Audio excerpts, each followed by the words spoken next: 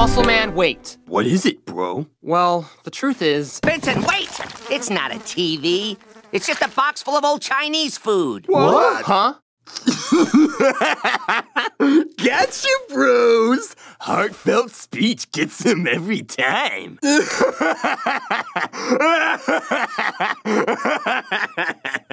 what were you gonna say, Benson?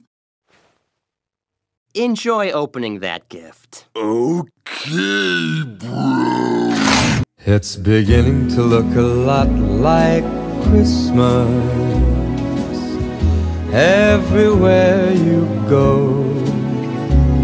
Take a look at the five and ten, it's glistening once again with candy canes and silver lanes that glow.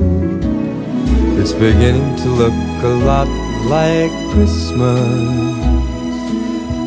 Toys in every store.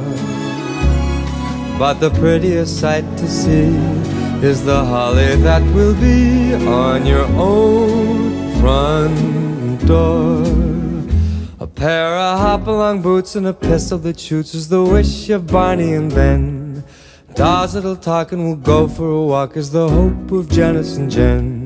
And Mom and Dad can hardly wait for school to start again. It's beginning to look a lot like Christmas everywhere you go. There's a tree in the Grand Hotel, one in the park as well. It's the sturdy kind that doesn't mind the snow.